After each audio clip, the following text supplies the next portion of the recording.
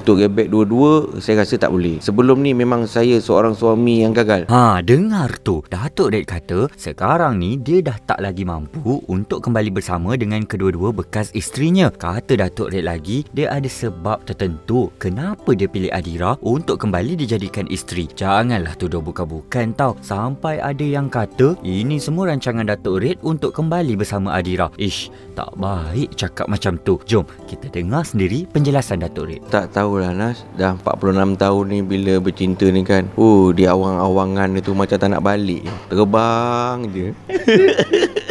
Nikmat dia tu kan. Orang kata Makan tak lalu Tidur tak lain tu. Ah, Betul lah tu dah. Ah, Dah kena dah.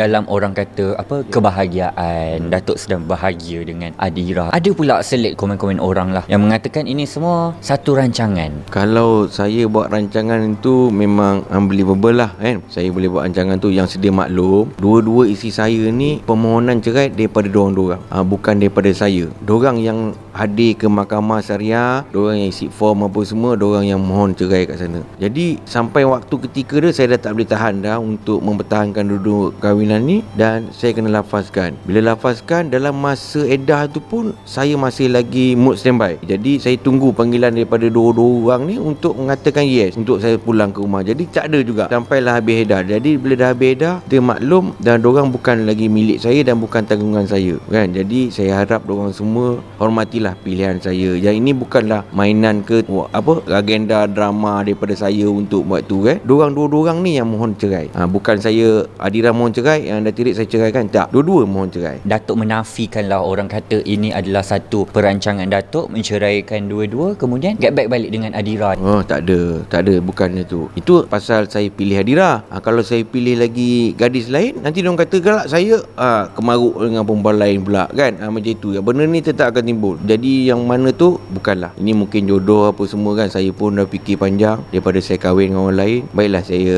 Saya ambil lah Apa yang balik lagi senang. Saya pun dah ada empat orang anak. Lah apa yang membuatkan Datuk masih mencintai Adira sehingga sekarang Datuk? Tak tahulah Mungkin 9 tahun kami bersama tu Tak cukup lagi kan tak Dan Adira pun Dia pun dah Rendahkan diri Dia dah mengakui kesilapan dia Apa semua kan. Jadi Apalah salahnya Kalau saya terus bersama dengan dia balik. Ha, Mungkin orang kata Ah ni mungkin Pasal Adira artis. Ha, Dia tu mungkin untuk Meniaga apa semua kan. Saya tak peduli itu semua. Ha, Pasal Macam maaf saya cakap ha, Sekarang ni saya dah boleh berdiri Kaki, kaki saya sendiri. Tapi untuk saya Untuk gebek dua-dua Saya rasa tak boleh. Pasal sebelum ni Memang saya seorang suami yang gagal. Nak membimbing Nak nak bahagiakan dua-dua Jadi tak boleh. Saya tak nak benda Kesalahan saya yang pertama Saya buatkan yang kedua nanti kan. Nanti saya duduk gebek balik dua Nanti 6 bulan nanti uh, Saya pergi balik mahkamah dua-dua nanti. Saya dah letih lah Datuk pun ada kata Datuk tak boleh nak get back dua-dua balik kan. Hmm. Jadi benda ini Datuk sebenarnya dah bagi tahu kepada Datin Red sendiri bekas isteri Datuk. Masa edah saya beritahu kan. Jadi kalau nak rujuk cakap je. Tapi saya tak boleh buat rujuk tanpa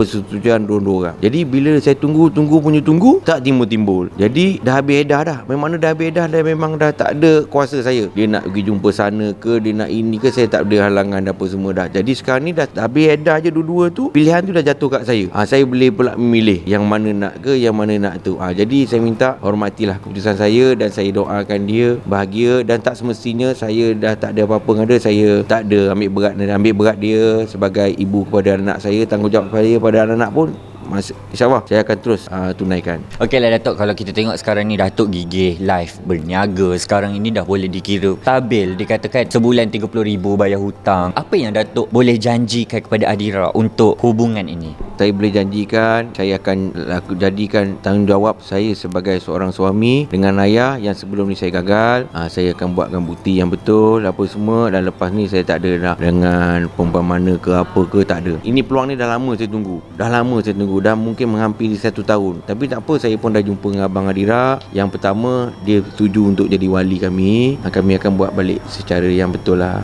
Hmm. Okey lah Datuk. Saya nak selit sikit soalan Berkenaan dengan Macam mana sekarang ni Hubungan Datuk Dengan bekas isteri yang pertama. Ha, Berhubung saja baik Cara baik ha, Dengan anak Lebih-lebih lagi Saya banyakkan komunikasi Dengan anak saya yang pertama lah kan? Pasal dengan dia Saya tak ada apa sangat. Ha, Tapi kalau dia ada masalah ke Segi sebagai kewangan ke apa ke ha, Dia akan terus dengan saya lah. Ha, Saya pun bagi dia semangat Untuk dia terus ceburi dalam laman sosial buatkan live ke apa semua ke jual barang apa semua macam itulah.